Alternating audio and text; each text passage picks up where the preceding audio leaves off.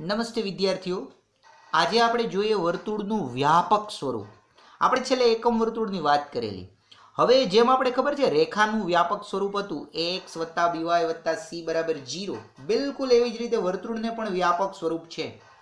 પણ એને સમજવા માટે આપણે થોડાક ફેરફારો કરવો પડશે. પહેલાં તો આ વ્યાપક સ્વરૂપ છે શું એ જોઈ લઈએ. તો સમીકરણ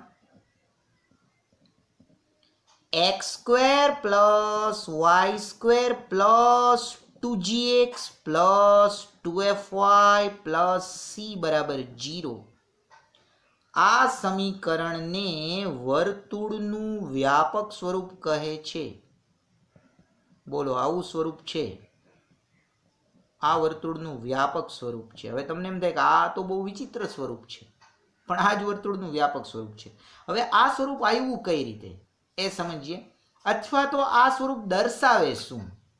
તો આ સ્વરૂપે વર્તુળનું વ્યાપક સ્વરૂપ કહે છે જે નીચેની શરતોનું પાલન કરે તે જરૂરી છે.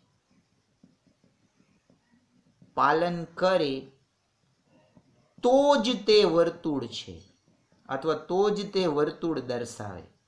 હવે આ શરતો કઈ છે એ જોઈ લઈએ. સૌથી પહેલી શરત છે એક્સ સ્ક્વેરનો સહગુણક. બરાબર જ વાય સ્ક્વેરનો સહગુણક હોવો જોઈએ. તો બરાબર આમાં જુઓ, આમાં એક્સ સ્ક્વેરનો સહગુણક એક. જો બરાબર આ સમીકરણ જોજો, આ સમીકરણને વર્તુળનું વ્યાપક સ્વરૂપ કહેવાય. તો સમીકરણમાં કંઈક ખાસ હશે ને? તો શું ખાસ છે? એક્સ સ્ક્વેરનો સહગુણક એ જ વાય સ્ક્વેરનો સહગુણક. બીજું અને સૌથી મહત્વનું સમીકરણમાં એક્સ ઇન્ટુ વાયના પદો ન હોવા જોઈએ. તો આમાં નથી જ. આના પદો ન હોવા જોઈએ. તો નથી જ. અને ત્રીજું અને અંતિમ પરિણામ સૌથી મહત્વનું, એ પરિણામ સમજવા માટે તો આપણે થોડીક રાહ જોવી પડશે. આ અંતિમ પરિણામ છે g square plus f square minus c એ ગ્રેટર દેન જીરો હોવું જ જોઈએ. આ શરત છે, સૌથી મહત્વની શરત કદાચ આ ત્રીજી થશે. હવે આ ત્રણે ત્રણ શરતો સમજવા માટે આપણે વર્તુળના વ્યાપક સ્વરૂપને થોડુંક ડીપમાં સમજીએ કે આ આવ્યું શું, આ સ્વરૂપ કેમાંથી આવ્યું અને કઈ રીતે બનશે. તો ચાલો આને સમજવાનો હવે આપણે પ્રયત્ન કરીશું. તો વર્તુળના વ્યાપક સ્વરૂપને સમજવા માટે હું એક વર્તુળ દોરીશ ફરી પાછું. જો રેખાનું જેમ વ્યાપક સ્વરૂપ હતું, એ જ રીતે વર્તુળનું વ્યાપક સ્વરૂપ વ્યાખ્યાયિત થશે. સૌથી પહેલાં તો હું એક એવું વર્તુળ દોડું જેનું કેન્દ્ર એચ કેને બદલે હું માઇનસ જી માઇનસ એફ લઈશ. યસ આ માઇનસ જી માઇનસ એફ આ ઋણ નથી હોય એવું બને કે જી અને એફ બે ઋણ હોય તો માઇનસ માઇનસ પ્લસ થઈ જાય. અને આ થઈ ગઈ તેની ત્રિજ્યા આર એટલે આપણે માઇનસ જી માઇનસ એફ કેન્દ્ર અને આર ત્રિજ્યાવાળું વર્તુળ વિચારીએ.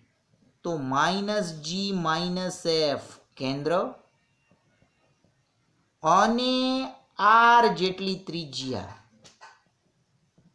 આર ત્રિજ્યા. ધરાવતા વર્તુળનું સમીકરણ. શું લખાય આપણે જોઈએ? તો આપણે જાણીએ છીએ એક્સ માઇનસ એચ નો હોલ સ્ક્વેર એટલે x minus minus plus g. તમે સમજી ગયા હશો. Plus y minus minus plus એફનો whole square બરાબર આર સ્ક્વેર. હવે આનું આપણે વિસ્તરણ કરીએ. તો આનું વિસ્તરણ કંઈક આમ થશે. X square plus two g x plus g square. Plus y square plus two f y plus f square. બરાબર આર સ્ક્વેર. જો આવું વિચિત્ર સમીકરણ મળે, આમાંથી જ વર્તુળનું વ્યાપક સ્વરૂપ બનશે. હવે એક્સ સ્ક્વેર અને વાય સ્ક્વેરવાળા પદો ભેગા કરો તો x square plus y square આ બંને થઈ જશે. Plus two g x plus two f y એટલે એક્સ અને વાયવાળા પદો. હવે વાત રહી અચળ પદોની. એ છે g square plus f square minus r square બરાબર જીરો તો આઈ થિંક તમે સમજી ગયા હશો. હવે જુઓ, આમાં આ એક્સ વર્ગ, વાય વર્ગ, two g x, two f y. આ બધા ચલિત પદો છે. કેમ કે આમાં એક્સ અને વાયના પદો આવે છે, એટલે આ ચલિત પદો છે. જ્યારે આ અચળ છે, એટલે આને હું અચળ કહીશ.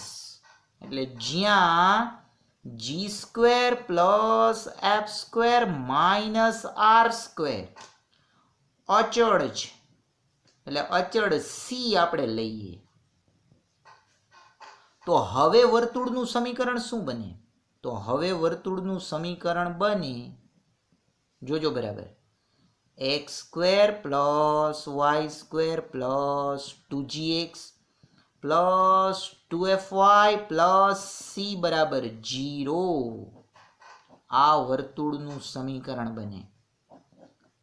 અને આ જે કિંમત છે ને, એ સી જેટલી છે. જ્યાં g square plus f square minus r square બરાબર સી છે. હવે જોજો બરાબર હું આમાંથી આમાંથી હું આર સ્ક્વેરને સૂત્રનું કરતા બનાવું. એટલે મને ત્રિજ્યા મળી જશે અને પછી ઓલી તમને સરસ સમજાશે. આના ઉપરથી હું આમ લખી શકું g square plus f square minus c બરાબર આર સ્ક્વેર તો હવે તમે સમજી ગયા છો કે આ ત્રિજ્યા દર્શાવે, તો ત્રિજ્યા ધન હોય, તો હવે ત્રિજ્યા શું મળી? Under root g square plus f square minus c. તો આ પદ વર્ગમૂળમાં આવે છે એટલે ધન હોવું જોઈએ, કેમ કે ત્રિજ્યા હંમેશા ધન હોવું જોઈએ. અને માટે જ આપણે જે પરિણામ ત્રણ જોયું, એની પાછી ચોખવટ કરી દઉં. હવે આ શરત જુઓ, એટલે હવે તમને આ શરત કદાચ સમજે આ સમીકરણ વર્તુળ દર્શાવે એની શરત આ થઈ ગઈ. G square plus f square minus c greater than zero કેમ કે આ સમીકરણને લીધે આ જ વર્તુળની ત્રિજ્યા છે જે ધન હોવી જોઈએ. તો વર્તુળની ત્રિજ્યા આર આના વર્ગમૂળમાંથી મળશે ને? Under root g square plus f square minus જે ધન હોવી જરૂરી છે. તો હવે તમે બરાબર પાછું આ સમીકરણ જુઓ. આપણે હવે સાબિત કરી દીધું જેમાં ત્રિજ્યા થશે under root g square plus f square minus c. તો હવે હું ફાઇનલ કન્ક્લુઝન લખું છું. આ સમીકરણ વર્તુળનું વ્યાપક સ્વરૂપ છે કે જેનું કેન્દ્ર માઇનસ જી માઇનસ એફ હોય અને ત્રિજ્યા under root g square plus f square minus c હોય. તો હું આ રીતે લખીશ. આમ, સમીકરણ x square plus y square plus two g x plus two f y plus c બરાબર જીરો એ માઇનસ જી માઇનસ એફ કેન્દ્ર ટૂંકમાં કેન્દ્ર જેનું માઇનસ જી માઇનસ એફ છે અને આર બરાબર under root g square plus f square minus c ત્રિજ્યા ધરાવતું વર્તુળનું વ્યાપક સ્વરૂપ છે. વર્તુળનું વ્યાપક સ્વરૂપ છે. આ ખાસ યાદ રાખજો. હવે આપણે અક્ષોને સ્પર્શતા વર્તુળોની વાત કરીએ. અક્ષોને સ્પર્શતા વર્તુળો. જો આ બધી થિયરી ખૂબ મહત્વની છે. તો ધારી લો કે પહેલાં એક્સ અક્ષને કોઈ વર્તુળ સ્પર્શે છે. તો એ વર્તુળ કંઈક આ રીતે હશે. આ એક્સ અક્ષને સ્પર્શતું વર્તુળ. આ એક્સ અક્ષ છે. અહીંયા ક્યાંક વાય એક્સ વાય એક્સ ગમે ત્યાં હોઈ શકે, વચ્ચે પણ હોઈ શકે. પણ તો આ મેં અહીંયા એટલા માટે લીધી જેથી તમે એનું કેન્દ્ર સમજી શકો. આ કેન્દ્ર તેના વાયામ જેટલો છે. આમ પણ તમને ખબર છે, આ આ જે અંતર છે એના વાયામ જેટલું છે. તો હું એમ કહી શકું, વર્તુળનું જે કેન્દ્ર છે, એ ત્રી, કેન્દ્રનો જે વાયામ છે, એ ત્રિજ્યા જેટલો હશે. બરાબર ને? કેમ કે અહીંયા જે કાંઈ હશે ફોર એક્ઝામ્પલ અહીંયા જે બિંદુ હશે, આ કેન્દ્ર એચ કે તો આ બિંદુના આમ એચ જીરો હોવાના. એટલે દેખીત રીતે તમે આ અંતર આર જેટલું કહી શકો, જે કેન્દ્રનો વાયામ છે. એટલે આપણે એમ કહીએ કે વર્તુળ એક્સ અક્ષને સ્પર્શે. વર્તુળ એક્સ અક્ષને સ્પર્શે તો તેની ત્રિજ્યા આર બરાબર માનાંકમાં કેન્દ્રનો વાયામ થઈ જશે. એટલે કે આર બરાબર તમે માનાંક કે કહી શકો.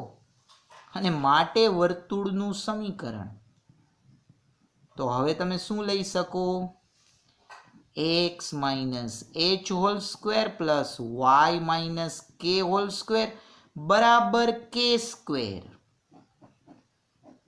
તો જો વર્તુળ એક્સ અક્ષને સ્પર્શે, તો ત્રિજ્યા એ માનાંકમાં કેન્દ્રનો વાયામ થાય. તો હવે બીજું હું સીધું લખું, વર્તુળ વાય અક્ષને સ્પર્શે.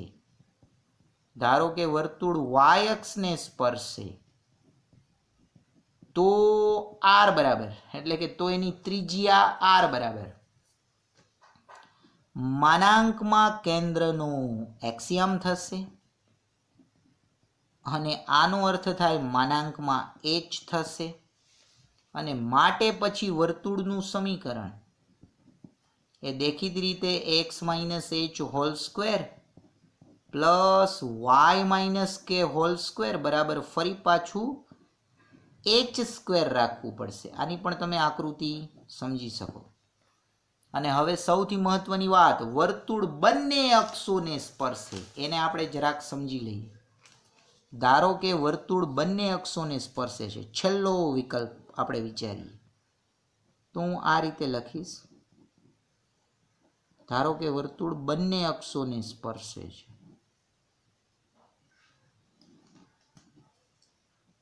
આ વાય અક્ષ અને એક્સ અક્ષ. તો શું થશે મિત્રો વિચારો? તો હવે આ ત્રિજ્યા આ એના વાયમ જેટલી થઈ, આ ત્રિજ્યા કેન્દ્રના એક્સિયમ જેટલી થઈ. મતલબ કે હું અહીંયા એચ કે લખી શકું, ધારો કે આ આર તો આ પણ આર બંને ત્રિજ્યા. તો આના અહીંયા માનાંકાર માનાંકાર મારે લખવા જોઈએ. શા માટે ખબર છે તમને? કેમ કે આ તો વર્તુળ પ્રથમ ચરણમાં છે. આ બીજા ચરણમાં હોય તો એનો એક્સ યામ માઇનસ હોય ને વાય યામ પ્લસ હોય. ત્રીજા ચરણમાં હોય તો બંને યામ માઇનસ હોય. ચોથા ચરણમાં હોય તો બંને યામ સોરી એક યામ પ્લસ ને એક યામ માઇનસ હશે. તો હું હવે કંઈક આ રીતે લખીશ ને કે ભાઈ વર્તુળ બંને અક્ષોને સ્પર્શે. સ્પર્શે. તો તેના કેન્દ્રના યામ. કેન્દ્રના યામ. એચ કે બરાબર. માનાંકાર માનાંકાર રહેશે. માનાંકાર માનાંકાર. હવે યાદ રાખજો, આ બંને યામ સરખા નથી હો. ક્યારેક આ માનાંકારમાં પ્લસ આર લેવાય ને ક્યારેક માઇનસ આર. એ ચરણ મુજબ લેવાય. અને માટે વર્તુળનું સમીકરણ. તો હવે આ વર્તુળનું સમીકરણ તમે લખશો એક્સ માઇનસ માનાંકારનો સ્ક્વેર પ્લસ વાય માઇનસ માનાંકારનો સ્ક્વેર બરાબર આર સ્ક્વેર. હવે આ સમજવા માટે પાછું તમારે એવું યાદ રાખવું ધારો કે વર્તુળ ત્રીજા ચરણને, ત્રીજા ચરણમાં છે ને બંને અક્ષોને સ્પર્શે છે. તો બંને આમ ઋણ લેશે. જો વર્તુળ બીજા ચરણમાં હોય અને બંને અક્ષોને સ્પર્શે. તો તેનો એક્સિયામ ઋણ, વાયામ ધન એવું લઈ શકાય. ટૂંકમાં આ સમીકરણ, એ વર્તુળનું સમીકરણ બંને અક્ષોને સ્પર્શે ત્યારે કહી શકાય. તો આ પણ ખૂબ મહત્વનો ટોપિક છે. તો આ સાથે આ વર્તુળને લગતી થિયરી પૂરી થાય છે. હવે નેક્સ્ટ લેક્ચરથી આપણે આના ઉદાહરણો એટલે કે દાખલાની ચર્ચા કરીશું. પણ આ બધા જ પરિણામો ખાસ યાદ રાખવાના છે, જેથી દાખલા કરવામાં આપણને મદદરૂપ થાય. તો આ સાથે લેક્ચર પૂરો કરીએ છીએ. Thank you